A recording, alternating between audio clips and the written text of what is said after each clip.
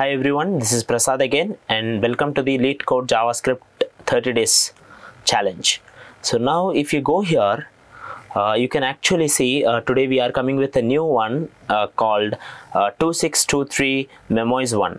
We are doing it 30 days of JavaScript in the LeetCode sir. In that we are having an, another one which is called uh, 2623 Memoize and in this uh, code you can actually check it here uh, there is a function and in that function it is having it like they are saying it like the given a function returned a memoized uh, version of that function. It's like remembering.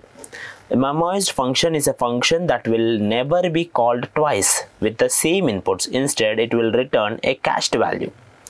Let's take it as sum.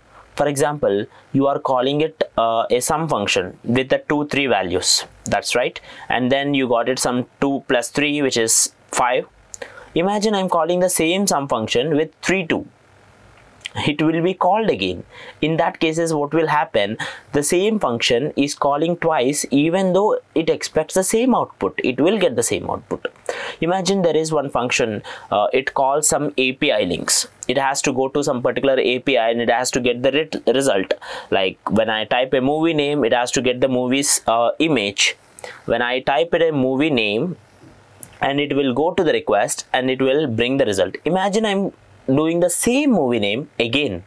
If I call the same movie name again again it will go to the request and again it will bring it the same.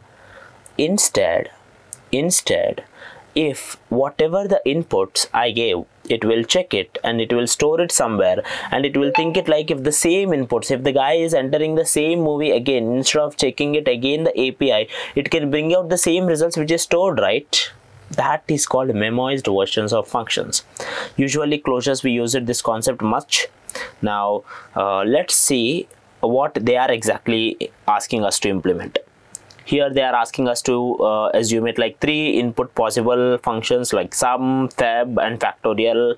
Okay if you want to just cut out all short you can directly go out to input and output things so that you will understand better easily Whenever you are in LeetCode, to understand it better, either read the question in detail with the editorial or directly check the inputs and outputs and then start checking it here, the uncommenting the logic so that you will understand it better. Now see, I'm just going here. A function named sum and the actions I'm calling it function two times uh, which is like again get call count which is like how many times I called it will come so but if I do this uh, call call it's like two times I just called. So the count has to be like kind of two. But interesting point here. See here. Now here uh, let's call count. There is something called call count here zero.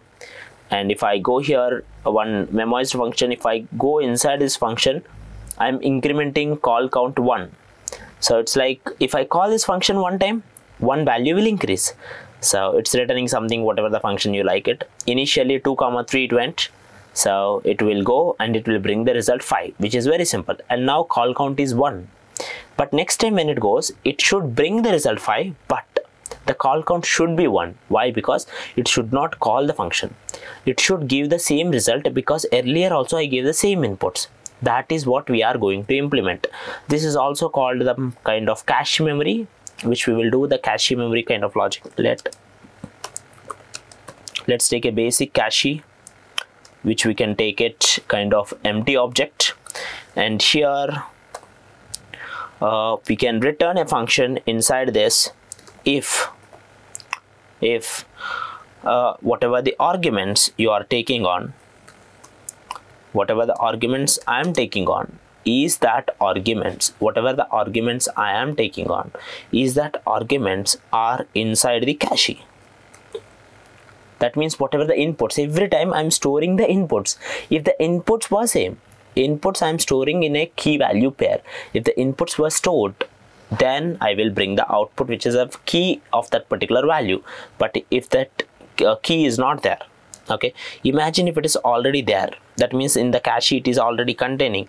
So i will not call the function. I will directly call i will directly call here the cache of uh, whatever the arguments you have. Else imagine I didn't have the uh, you know the value inside the cache like the, it's the first time I'm calling that particular function. Okay so in that case what should happen? Let's take it like I am calling the function which is fn and I'm doing passing the arguments fn. And I am making this whatever the answer I got it uh, whatever the answer I got it I am storing this answer in the cache args so what will happen?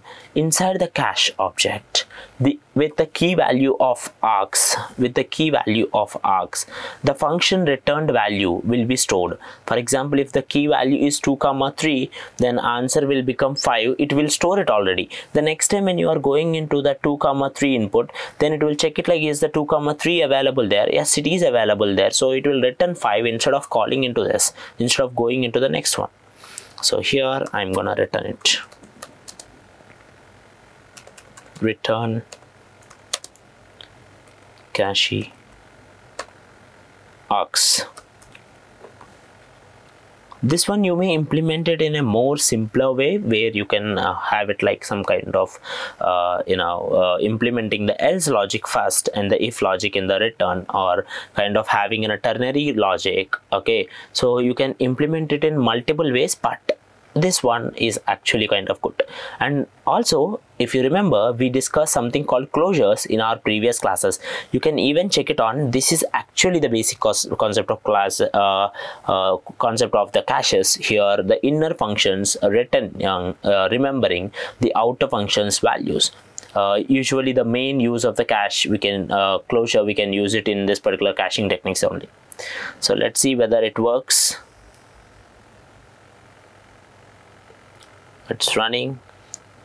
So the cache it brings out. Go here. So here two only two two dots. It is three three dots. So it's like the uh, rest operator. So it has to be passed with three dots where it will accept it all. Okay so if you just check it upon you will and uh, you you can submit the things okay? Just uh, try to check it more and more LeetCode problems so that you will understand the javascript functional programming in a more better way. You can always follow us and you can check it on our other videos of LeetCode so that you will understand the javascript well. Thank you all